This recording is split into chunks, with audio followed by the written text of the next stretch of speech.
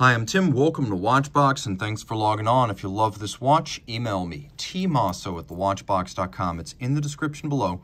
It is your purchase and pricing email question line for buying this or any watch you see on any Watchbox platform. Please reach out to me directly.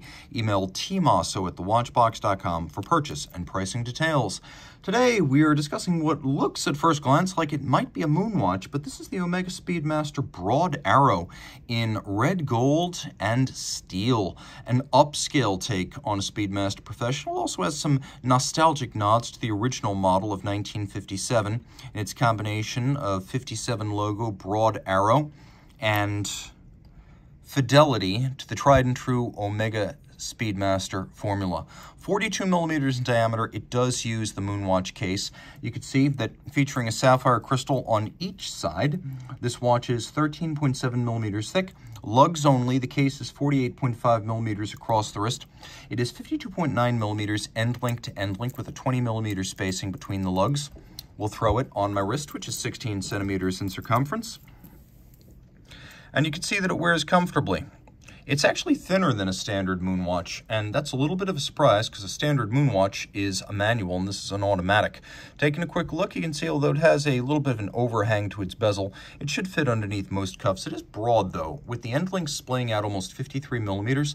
I'm going to recommend this watch on the bracelet for a wrist of 16 centimeters circumference or larger. If you were to put it on a flexible strap, I think 15 would be just fine. Taking a quick look at the bracelet, it's an upscale piece. There's a conforming end link to better mate it to the case aesthetically. We have these oval cross sections with polished flanks, and then we have polished intermediates down the center with staggered link alignment. There's a little bit of a taper from the end link down to the clasp. The bracelet's sort of a hybrid of a sports bracelet and a dress bracelet, though make no mistake, it has a great deal of solidity. It feels like a sports bracelet. It just looks like it's got a bit of a, a dress orientation with these rounded off shoulders and intermediates in polish. You can see that all of these removable links are fixed by pins and sleeves, so if you do want to size this bracelet at home, you'll need a block and punch. We have a thick gauge steel single fold deployant, very similar to what you'd find on a Seamaster Diver 300 meter, albeit without the dive extension. What you do have is two sets of divots and a spring bar, so if you use your strap tool, you can move the uh, bracelet in and out slightly to fine tune the fit.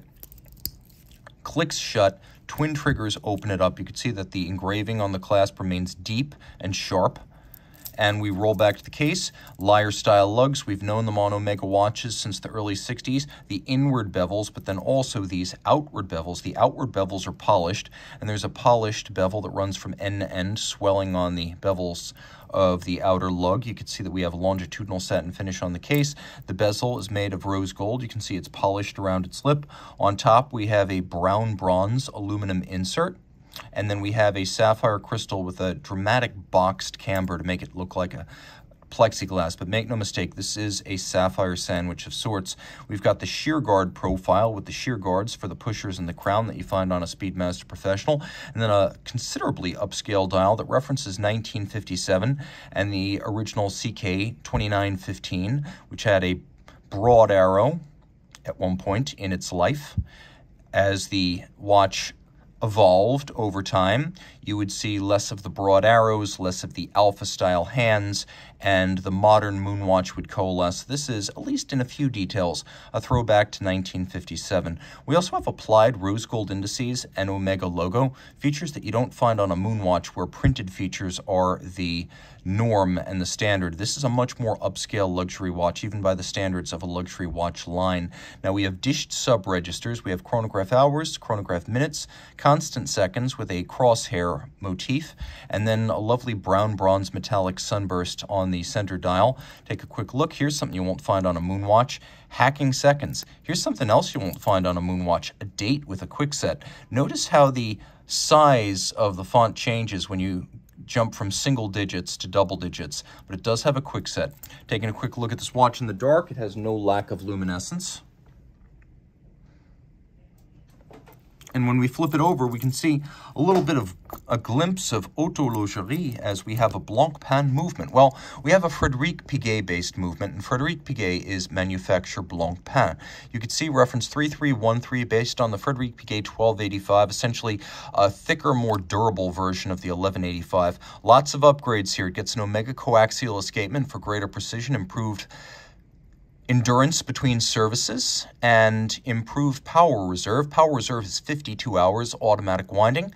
You can see we have a five position adjusted free sprung balance, better to help this watch earn a COSC Swiss chronometer certification on top of the coaxial escapement. You can see we've got a column wheel visible, a feature you will not find on a standard moon watch, which uses a cam.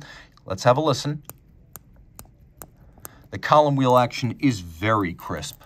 And you can see we have a chronograph seconds hand that engages without any jump because the vertical clutch has no play. It also creates no additional wear and tear thanks to the vertical clutch. If you want to just leave the chronograph running, you will have no problem with that. You just need to make sure to keep it wound. There's no penalty for running your chrono full time when you've got a vertical clutch system, and that's exactly what we've got here. Column wheel vertical clutch, five position adjustment, coaxial escapement, You've got the COSC cert and 100 meters of water resistance. Remember, on a standard Moonwatch, you get only 50. This is 100 and suitable for swimming. Plus, you get a standard of finish that is more impressive than what you'll find on a standard Moonwatch. This is downright handsome, almost becoming of something that would cost twice as much money, but again, it does have a Blancpain pedigree. Reach out to Team Mosso at thewatchbox.com for purchase and pricing details.